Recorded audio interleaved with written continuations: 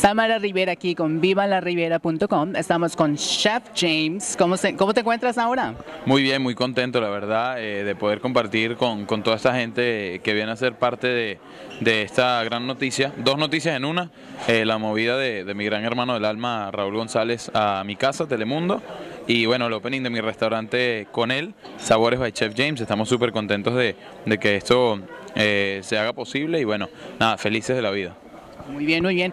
¿Y ahora, ahora hiciste, preparaste algo para, para el evento? Sí, preparamos varias cosas. Eh, eh, nuestro concepto es un concepto latinoamericano que encierra un poquito de lo mejor de cada país.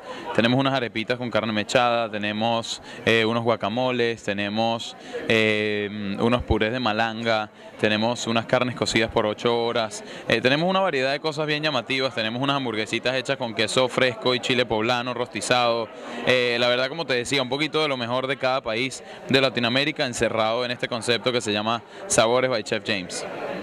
¿Y cuál me recomendarías a mí para una chica que no le gusta comer tanto, porque está, no digo una dieta, pero que le gusta comer más saludable? Bueno, nuestras recetas eh, en cuanto a porciones no son porciones exageradas, son porciones que te vas a ir de aquí satisfecha, no te vas a tener que parar en una esquina a comerte un perro caliente porque te fuiste con hambre, no, pero tampoco son esas porciones que tienes que dejar la mitad porque no te, no te cupo. A mí mi, mi plato favorito es eh, una, una costilla de res que se cocina por 8 horas en un caldo de chile guajillo y cerveza negra y luego lo servimos sobre un puré de malanga con queso de cabra y es maravilloso, es espectacular.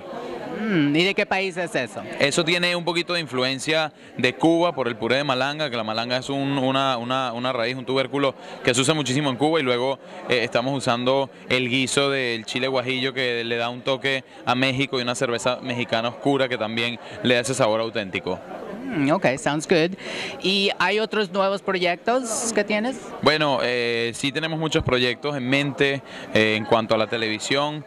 Eh, recientemente abrí mi escuela de cocina hace dos meses atrás que se llama Face to Face Cooking, eh, donde llevamos esto a la realidad o la televisión a la realidad. Es un concepto bien llamativo donde la gente viene, se sienta alrededor de un counter.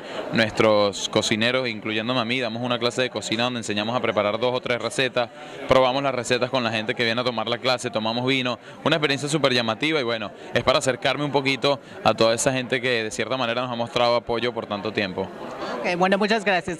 ¿Dónde te pueden encontrar tus fans en el uh, social network? Twitter, bueno, Instagram. En las redes sociales estoy como arroba Chef James, en Instagram, en Twitter, en Facebook también estoy como eh, Chef James y mi página web por supuesto que es jamestahan.com y si no saben escribir mi apellido buscan Chef James en Google y la primera página que sale ya lo saben. Perfecto, Saludos. muchas gracias. Un placer.